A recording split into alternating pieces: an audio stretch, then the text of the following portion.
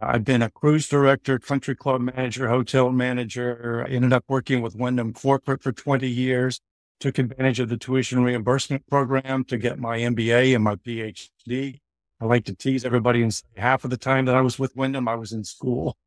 Uh, but like Tim, I transitioned to academia full time and um, haven't looked back, uh, kind of having a second career. And uh, just like Lisa, I was approached with this initiative and the two offered uh, for me to be a partner with them and I jumped on board. Wonderful. Uh, what a dynamic team the three of you make. Oh, I will turn it over to Valerie, and um, she is going to host the rest of the discussion. Thank you, Dr. Sanders.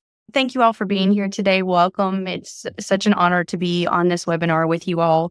And jumping into the questions here, when we're thinking about your founding vision and inspiration for hospitality internships, what inspired you to create hospitality internships and what gap did you see in the market?